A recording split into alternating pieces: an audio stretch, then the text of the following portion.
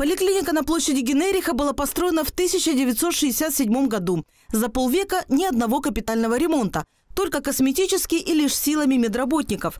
Теперь здание поликлиники не узнать. Полностью обновлен фасад здания, заменены инженерные сети, установлены окна-стеклопакеты. Но главное, появилось новое медицинское оборудование. Мы э, приобрели новый УЗИ-аппарат высокочастотный для женской консультации. Мы приобрели э, аппаратуру для кабинета неотложной помощи. Вот, ну, вот такие результаты на сегодняшний день. В коридорах, где раньше невозможно было развернуться, появились зоны комфортного пребывания с мягкими диванами. Практически во всех кабинетах новая мебель. На первом этаже стойка регистратуры. Повсюду указатели с наименованием отделения. Так что заблудиться невозможно. Заходим в кабинет неотложной медицинской помощи.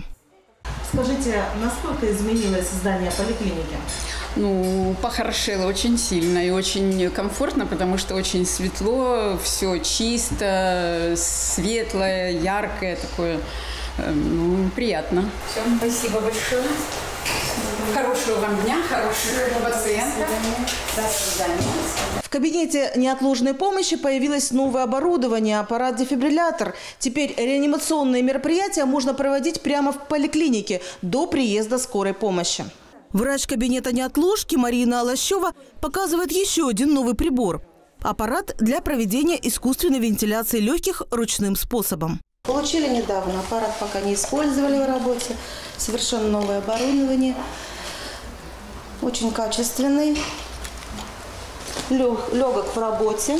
Гинекологическое отделение находится в отдельном крыле здания. Вход только для дам. Здесь своя стойка регистрации. В отделении появился современный аппарат УЗИ, позволяющий выявлять патологию развития плода на ранней стадии беременности. Это аппарат Samsung экспертного класса, на котором мы можем смотреть и третьи скрининги УЗИ для беременных, которые раньше мы здесь не смотрели, для выявления патологии плода. Здесь хороший доплер имеется для э, выявления нарушения маточно-плацентарного кровотока вовремя, то есть выявлено, можно бороться с этой ситуацией. Аппарат позволяет делать УЗИ малого таза, молочной железы, почек, брюшной полости, щитовидной железы. Меню аппарата на русском языке. Монитор дает хорошее качество изображения, рассказывает Екатерина Гладкова. Ежедневно на нем планируется смотреть до 15 человек. По словам заведующей, очереди нет. Вести прием пациентов стало комфортно, но одна проблема все же осталась – это кадры. Поликлиника нуждается в специалистах первичного звена. У нас всего лишь на 47% укомплектованы с терапевтами.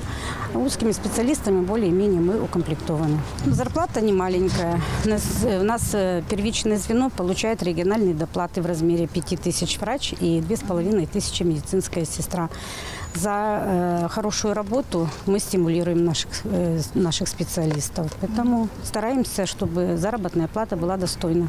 В перспективе предполагается строительство социального жилья для сотрудников здравоохранения. Эту инициативу временно исполняющего обязанности губернатора Севастополя Михаила Развожаева во время недавней поездки на полуостров поддержал президент России Владимир Путин.